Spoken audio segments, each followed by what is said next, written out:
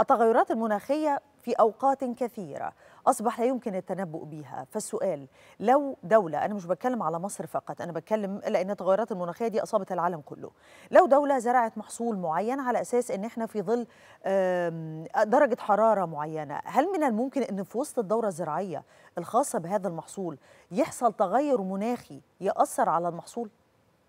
اولا حضرتك ال- ال- ال- لازم نفرق بين حاجتين مهمين جدا. آه، عندي مناخ طويل المدى فبالتالي أنا لما بزرع في منطقة زي آه، جمهوريه مصر العربية فأنا عندي دراسات بتقول لي آه، المحاصيل التي تجود هنا والتي لا تجود فبالتالي أي محصول بزرعه بزرعه بناء على دراسات واحتياجات كل محصول. لكن حضرتك التغير في المناخ من تداعياته اللي هو الطقس المتطرف. أنا قلت لك ها المحصول هنزرع زيتون مثلا في آه، الجيزة أو الواحات أو آه، إسماعيلية. ولكن جه حصل آه، طقس متطرف اللي هو تداعيات تغير المناخ مرة واحدة موجة حرارية شاذة الحرارة تعدت 48% أثناء فترة التلقيح والاخصاب. آه، مثلا جت موجة زي عاصفة التنين اللي جات لنا في 2019 وغرقت كل المزروعات. لكن إحنا لازم نفرق بين الدراسات المناخية الطويلة إن أنا بدرس عليها وبرسم سياستي ال- ال- الزراعية عليها غير الطقس المتطرف اللي هو مرة واحدة فجأة كده أبقى قاعد لا بيا ولا عليا تيجي آه، فيضانات تيجي سيول تيجي موجة صقيع شديدة زي ما حصل السنة اللي فاتت واللي قبلها يضرب المحصول. ده من ضمن تداعيات التغير. لذلك إحنا بنتكلم الكاب إن شاء الله 27 عندنا يا رب تبقى قمة التنفيذ.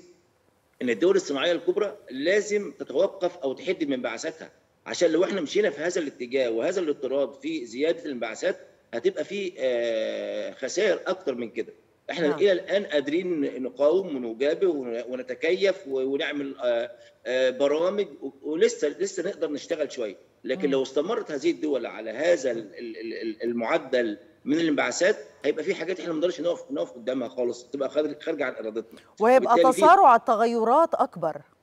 طبعا طبعا. مم. آه، ارتفاع مستوى سطح البحر آه، آه، فيضانات في جف... في دول فيها جفاف يعني أوروبا فيها جفاف. عندها عندها مشكلات. ومع إن هي متسببة يجب إن هي تاخد الدرس وتعي وتتوقف عن الانبعاثات. طيب سؤال ربما يكون الأخير دكتور شاكر. هل الحل دلوقتي في زيادة نسبة الصوب الزراعية مع الوضع في الاعتبار أنها مكلفة كمان؟ آه، حضرتك دي دي دي آه، من ضمن آليات التكيف إن أنا بزرع آه، تحت الصوب الزراعية. إحنا بنقول أشعة شمس شديدة آه، درجة حرارة مرتفعة آه، عندي آه، مشكلة في حصة المية فبالتالي ال- أنا بعظم الاستفادة من وحدة المساحة والمياه تحت الصوب بدي النبات احتياجاته من المية آه، هيبقى عندي النتح من النبات أقل من الحقل المكشوف لأن متغطي آه، في شبكه عامل تصدير وبالتالي النبات مش هيفقد ميه كتير آه، لا الصوب الزراعية طريقة من طرق التكيف مع التغير في المناخ ويجب إن إحنا نمشي في هذا ال- الطريق ونتوسع في الزراعات المحمية سواء محاصيل فاكهة أو محاصيل خضر يعني الحكاية ما. مقتصرة على محصول الخضار بس فلفل وطماطم وفاصوليا تحت الصوب. لا ده أنا ممكن ازرع مانجا وازرع عنب وازرع محاصيل أخرى تحت ال- ال- الصوب بحيث ان أنا اجابه واتكيف مع التغير في المناخ. وهي أكثر تكلفة طبعا يا دكتور.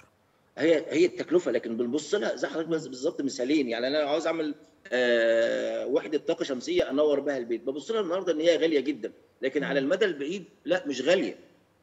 مش غالية. نعم. فانا فالعمليه بنبص لها من منظور مختلف يعني. إحنا بنعمل حاجة اسمها تنميه مستدامة التنمية المستدامة ونرجع لها- نتكلم يا دكتور إن حتى لو الحل بقى في الصوب الزراعية يبقى إن في مشكلة جفاف يعني نتيجة. للتغيرات المناخية حضرتك دلوقتي إحنا بنقول عندنا مشكلة في المياه ندرة ميه. مثلا في بعض المناطق فبالتالي الصوب الزراعية في بعض المناطق أنا بعظم الاستفادة من وحدة المساحة والمياه. مساحة صغيرة هدي منها آخد منها إنتاج عالي وبأقل كمية مياه واقل أقل أقل كمية أسمدة وتكلفة هاخد منها اللي أنا عاوزه. مثلا لو هزرع صوبة على نص فدان هاخد منها آه، ما يعادل 2 فدان في الأرض المفتوحة المكشوفة. نعم. دكتور شاكر أبو المعاطي أستاذ المناخ بمركز البحوث الزراعية جزيل الشكر لحضرتك يا دكتور.